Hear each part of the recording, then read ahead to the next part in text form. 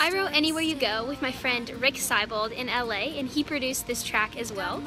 And we started writing it as a play on Oh the Places You'll Go because I was in a spot in my life where I wasn't sure what was coming next with graduating high school and going off to college, and so I wanted to write a song about that. And through the process of songwriting, we ended up writing a song about falling in love.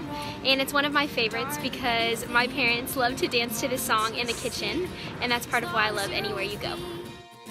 Can cross the world and I will be your girl.